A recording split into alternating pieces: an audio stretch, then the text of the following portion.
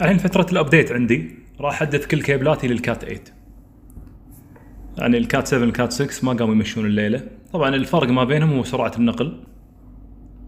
ال Cat 8 يعطي سرعات نقل تصل إلى 25 جيجا بت أنا ما وصلنا هذه الأرقام لكن قلت خلينا نجرب. يعني 8 دولار خلنا نطق لي 10 كيبلات سريعة. هذه بطارية ب 50000 والله نسيتها أنا من كثر ما طولت. هذه بطارية 50000 اللي قلت لكم معيارها للأرقام كلها صحيح. الفكرة العامة لهذه البطارية واحد لا تصلح للسفر لأن في معيار للسفر بتوقع حدك 20000 هذه 50000 فأفضل لك إنك تاخذ قطعتين 20000 إذا تبي تسافر من إنك تاخذ إنك تاخذ هذه. لكن هذه عجبني فيها معيارها الصحيح يعني أرقام كوالكم اللي موجودة المعيار للأوتبوت والإنبوت كله صحيح. البطارية ثقيلة الحقيقة جدا ثقيلة الحين راجع لها. بعدين عندنا الكرت يقول لك سجل خلال 14 يوم علشان تحصل على الكفالة 18 شهر. بعدين عندنا الغطاء والشاحن 45 واط Type-C to Type-C وهذا كيبل صغير Type-C مع القطعة هذه اللي هي تكملة الشاحن. الحمد لله أنها مو أمريكية الراس غير أمريكي. okay okay. الفكرة هني. تعرفون الفكرة القديمة اللي هي الشاحن الأمريكي يكون في هذا المكان وهذه القطعة مالت EU إضافية فتغير لك شكل الشاحن إلى المنفذ الأوروبي. هذه فكرة المخارج. المخارج كلها standard standard 18 واط Power Delivery 3.0 standard 60 واط و Qualcomm 3.0 Qualcomm 3.0 كل المخارج standard أه، ممكن تكون البطارية هذه قديمة لأن إحنا وصلنا الحين Qualcomm 5.0 اللي ما نزل. أو 4 4 plus. لكن لا زلت أشوف إنها standard لأغلب الأجهزة. يهمني أنا إنها تشحن الكربون اللابتوب وتشحن ال Note عندي وهي تدعم هذه الأمور. البطارية غير مشحونة بتأكد في موضوع الشحن. هل ممكن الشحن وهي على الشاحن؟ يعني تشحن وتنشحن في نفس الوقت. مميزات عيوب سريع. هذه البطارية تنشحن 45 واط وتشحن لك 60 واط. فيها أربع مخارج رئيسية standard هذه مميزاتها. 50000 سعرها عادي. عادي ما راح أقول لك غالي ولا رخيص عادي. فقط هذه مميزاتها العيوب التالية. البطارية وزنها 1322 جرام. فاحسبها هل هو عيب ولا ميزة؟ احسبها. يعني البطارية وزنها كيلو فاصلة ثلاثة. هذا واحد. البطارية ممكن إنها تشحن وتنشحن في نفس الوقت ولو إنها ما أعطتني هذا الأمر أول شيء يعني بعد ثلاث دقائق okay بعد ما تعبت شوية يعني أول 5% أعطتني إنها تقدر تشحن غيرها. تقبل USB 2.0 3.0 Type-C to Type-C كلهم شغالين. الجهاز يستقبل شاحن واحد فقط إذا حطيت شاحنين اثنين ما راح يستقبل إلا الرئيسي ال 45 واط. البطارية تحتاج إنك تشحنها من خمس إلى ست ساعات full من الصفر خمس إلى قول ست ساعات. تنشحن full على 45 واط. مساكم الله بالخير. 6 8 2020 تسجيل من Note 10 5G Qualcomm. الحديث عن معالج Exynos 990 اللي تكلمنا عنه قبل لا ينزل. اليوم الحديث الأخير عنه. في عالم المعالجات عندنا اثنين متنافسين في عالم Windows اللي هم AMD و Intel. راح أشبه لك Intel ب Qualcomm AMD ب Exynos. في عالم الهواتف عندنا متنافسين واجد لكن أهمهم الأربعة التاليين. سامسونج مدة طويلة عندها معالج Exynos لأنه ما في بديل بالسوق المحلي فتضطر إنك تقول Exynos هو الموجود. بعد دخول كثير من المنافسين حتى HTC في البدايات كنت أشوف إن HTC بمعالج Qualcomm أفضل جدا من Samsung S1 S2 وغيرهم. لكن حصولك عليه يساوي صفر عربي التعريب صفر لا واجهة ولا قراءة ولا كتابة. فكانت هذه الأمور غير مرشحة. معالجات Qualcomm غير مرشحة في البدايات. سنين طويلة Qualcomm أقوى من Exynos مرة واحدة تراجع فيها Qualcomm اللي هو معالج Snapdragon 810 كان حار فقط. بعدين طول الوقت طول الوقت Qualcomm أقوى طول الوقت. قبل كانت المنافسة غير واضحة لأن الرومات اللي توصلنا مختلفة ال ROM مو نفس ال ROM مو نفس ال version. فواحد مرفوع الضبط وواحد غير مرفوع. بعد 820 الأمر انحسم لكوالكم خلاص انتهى الموضوع.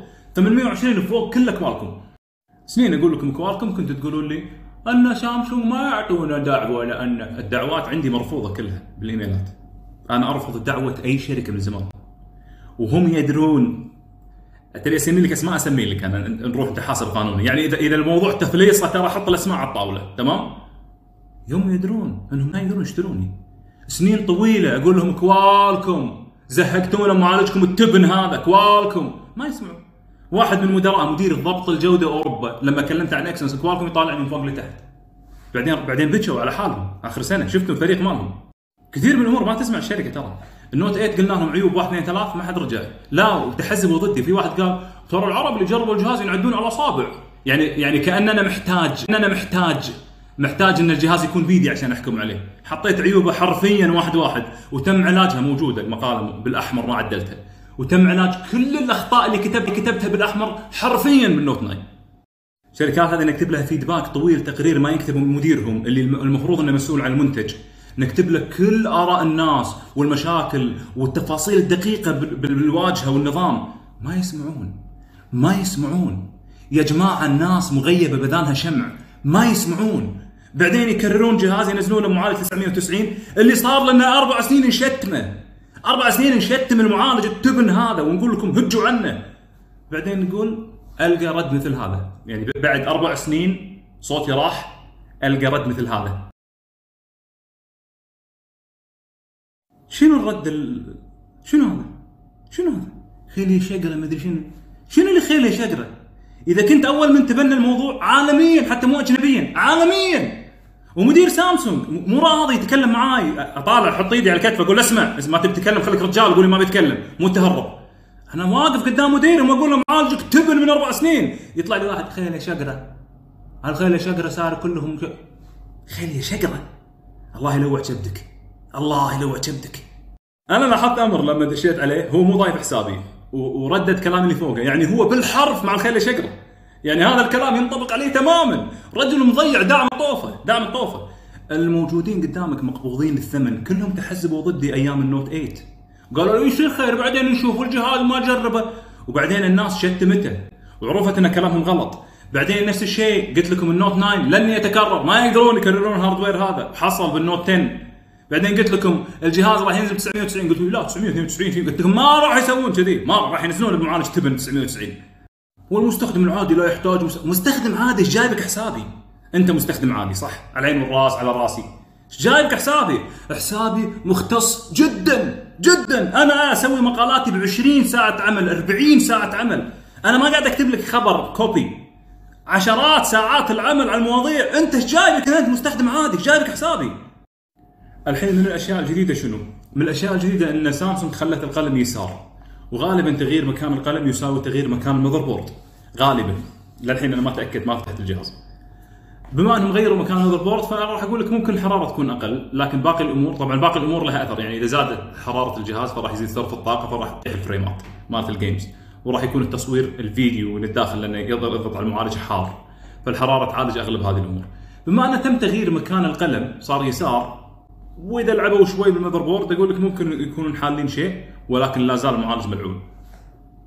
النتيجة النهائية التالي، التالي أنا قاعد أقول عن قناعة تامة. Samsung Galaxy Note 20 Ultra 5G هو أقوى جهاز في العالم بدون منافس إذا كان بمعالج Qualcomm. لا يوجد لا يوجد أي جهاز يقدر ينافسه إذا كان بمعالج كوالكوم. هو الجهاز الأعلى إنتاجية، هو الجهاز الأعلى حصرية، هو الجهاز الأفضل في التعديل وفي الواجهة، هو الجهاز الأعلى مميزات، لا يوجد منافس. يتم قتل كل الإمكانيات هذه معالج غبي مثل 990. رسالة لسامسونج لأي شخص مختص التالي تبي تزعل ازعل. أقسم بالله لو في قرآن أحط لك عليه ايدي. أقسم بالله زعلك مفارق وياي. لا أنت ولا سامسونج مجتمعه ولا مطبلينهم، تمام؟ كافي عبط على الناس. بعد كورونا الناس بدأت تطلب أونلاين بشكل أفضل. بعد كورونا صار في بوابات دفع إلكتروني، بعد كورونا صار في أسواق أونلاين أكثر. العبط العد التنازلي الصفري بدأ صفري أنتم رايحين للصفر. خلاص. العبط هذا كافي. أسعار مرتفعه وعبط يعني تستعبط ورافع سعرك. يعني حتى لو قلت والله سعره خاص لأن هذا آخر نسخة من Exynos بمشي لك أنا. أنت تستعبط قاعد تبيع جهاز ب 1000 ونص دولار. وعليه معالج مكرر ومشتوم وما نزل حق كوريا الجنوبية من كثر ما هو يفشل. أثقلتوا علينا والله. يعني يعني من شبيحة أبل على على عبط سامسونج على خيله شاقره أثقلتوا علينا والله. كافي. يا جماعة كافي كافي. يعني لا تجتمعون لا لا يصير لا يصير عفن أبل على عبط سامسونج مجتمع علينا. واجد ترى. بعد قليل إن شاء الله يعني على الساعة 11 راح يكون عندي لقاء مع علي هادي علي من العراق. اللقاء راح يكون مسجل بسبب الإنترنت فراح يتم تسجيل اللقاء. راح يكون غريب بصراحة يعني راح يفتح له فيديو ويكون اللقاء عبر واتساب ويتم تسجيله حسب ما فهمت منه. ما راح يكون لايف يعني بسبب الإنترنت. فراح يتم تسجيل اللقاء ورفعه على قناة علي هادي علي بإذن الله. شكر خاص لعلي وجمهوره وإن شاء الله يكون لقاء مثمر. رساله اخيره للمتابعين القدامى شكرا جزيلا لمتابعتك. متابعين جدد أهلا وسهلا. هذا الحساب مختص لأندرويد فقط متطرف لأندرويد فقط. أضع فيه تجاربي الفنية. ما في أي اعتبار لأي شركة أو شخص أو أي أحد. الاعتبار بيني وبينك أخروي. يعني اللي بيني وبينك إذا أنا قلته راح أتحاسب عليه يوم القيامة بأي شكل هذا اللي فارق وياي. أي اعتبار دنيوي مو فارق وياي. أعتذر عن الإطالة والسلام عليكم ورحمة الله وبركاته.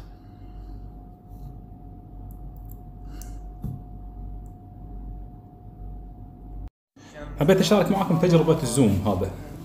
بصراحة أنا كنت أستخدم التسجيل سابقا لكن قلت ليش ما أستخدمه على ارض الواقع؟ وصلته بال dock station هذا. تمام؟ وطلعت منه ال audio output فصار مسؤول عن شنو؟ مسؤول عن ال output هذا الصوتي. فأنا أتحكم بالصوت من هني.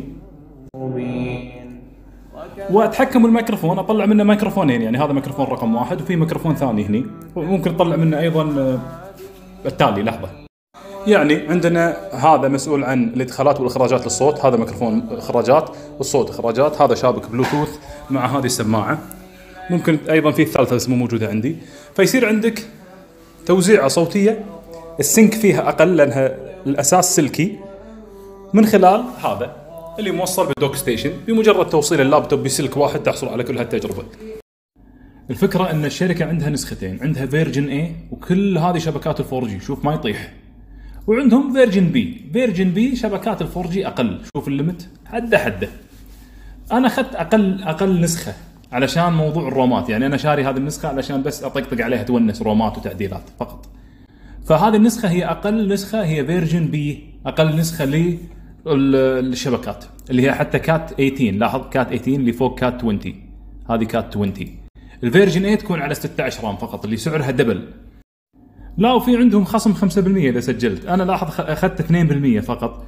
هذا أخذته من جوجل ما أدري شنو. لكن المفروض إني ماخذ 5% 5% إذا سجلت معاهم بال news بعدين شيل التسجيل مالك. فممكن بعد تاخذ يعني يطلع عليك الشحن free مثلا. الموقع غير مجرب تحت مسؤوليتك الشخصية ما أعرفه. أشوف كثير المواقع ترشحه لكن أنا أول مرة أتعامل معه.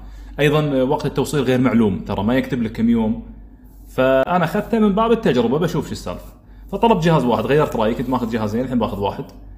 وبشوف إذا في مواقع ثانية تقدمه عالمي لكن أنا ماخذها من باب المتعة فقط. يعني بشوف شلون ممكن نحول النسخه الصينيه إلى عالمي 100% يعني ونزه في أمر نسيت لا أقوله أعتذر جدا وهو أمر مهم ترى.